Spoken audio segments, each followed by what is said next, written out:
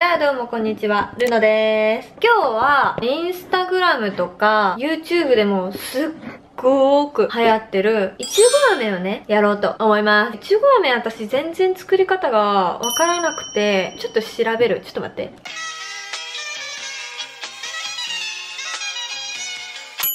いちご飴作り方。た。なんか一応水と砂糖といちごがあればいけるみたいな感じのは知ってたのでそれだけ買ってきてはいるんですけど電波が悪いわ。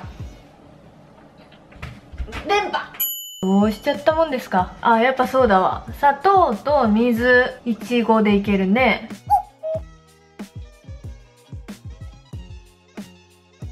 いけるんじゃない？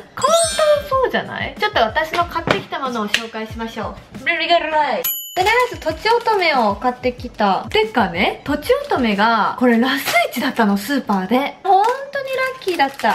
砂糖が180。お任せください。バッチリです。もう私は間違いない。砂糖と塩なんかそんなに変な間違いはいたしません。あ、ちょっと待ってちょっと待ってやった。誰ですか？砂糖と塩なんか間違える人。いるんですか？あー思い返すがない。あーもう最悪だよ。え？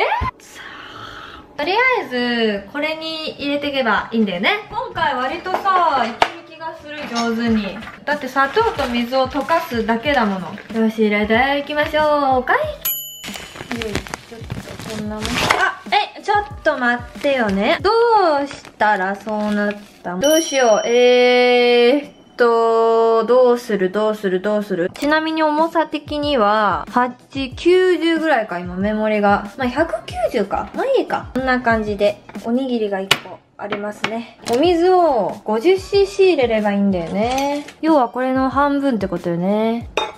どう？よし、入れてこう。これに対してのさ、60って結構少なくない？これでいけるの？本当に。知らないよ。中火ですよね。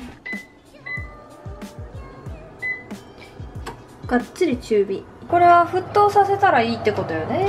それでですよ、いちごたちを洗っていきましょう。いちごでもすっごいたくさんあるのよね。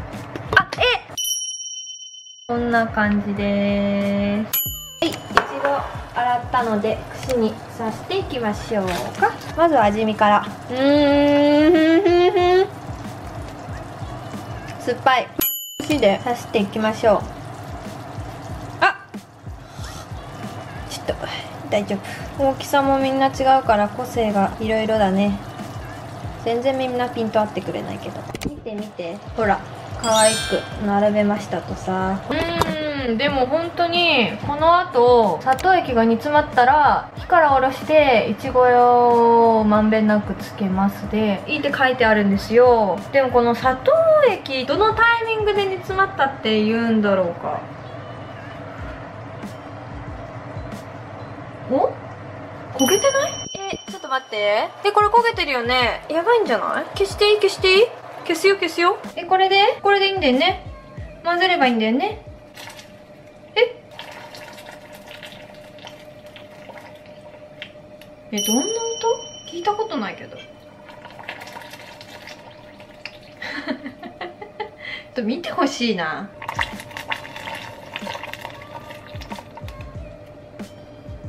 どんな気持ち？あってるのかな。何にも変なことしないよ。ただ見たまんまに作っただけじゃん。素直に作っただけじゃん。あでも飴っぽいけど。こんなもんかしらね。なんかミスったかな。合ってるよね。はいタラリラリラリラ。じゃ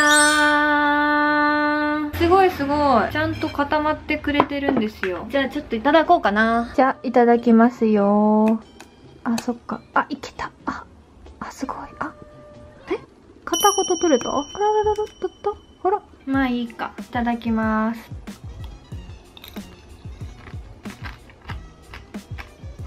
うん。えめっちゃ美味しい。めっちゃ美味しいこれ。